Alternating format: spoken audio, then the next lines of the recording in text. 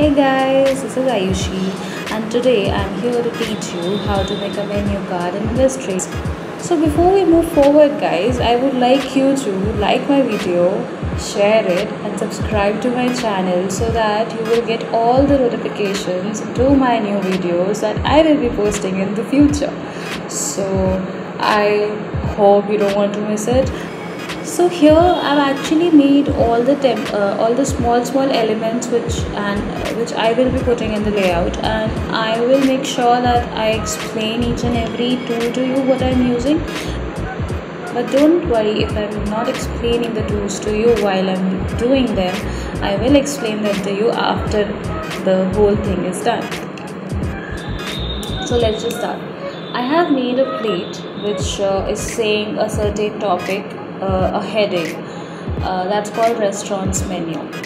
Okay so I have made it. I have, as I said I have made all the elements and put them here so that I can just you know not waste time in making them in front of you and get you bored don't and I have made two patches for the content I will put. I have made an opaque of them of 38% uh, it's just a way how to put a certain layout together and uh, actually people do get confused freshers or some people who are having a Uh, a day. They are not uh, having a very creative day or something like that. They do have problems in putting down a certain layout and they go back and forth on some things.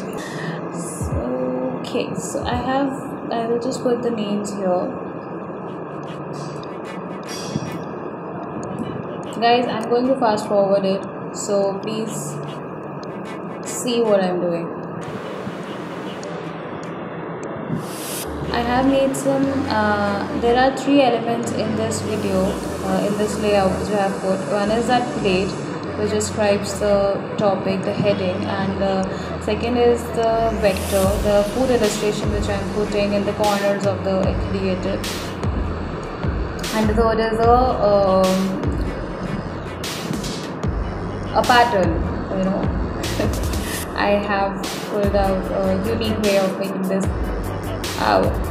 I'm using a move tool and I'm just uh, putting all the all these things together over there but I'm not doing anything else here okay left right left right you can do it from your right and left mouse जो keys होते हैं keyboards पे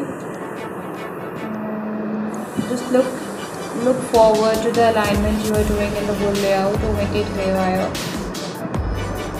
the whole layout should make sense it should not look as if what the hell have you made? The client should not say that okay? He can say that in the first draft but in the more drafts you send them don't let him say that. Don't make him say that.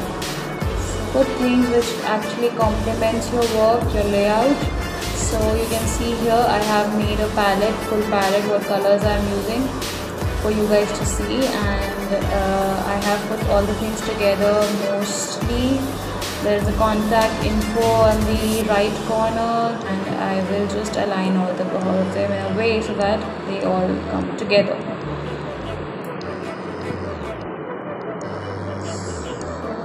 Yes, here it's done. It's actually very simple to make a layout and put it together, put it all together, but to actually idealize it and to think that what goes where takes time and takes takes a lot of experience and uh, research on uh, you know whatever you have to make. You do you do your research and don't uh, you know don't don't use similar things which are on internet do something from your own side but of course you can take inspirations from pinterest from youtube also from anywhere from freepik you can take some elements but don't just copy paste it all.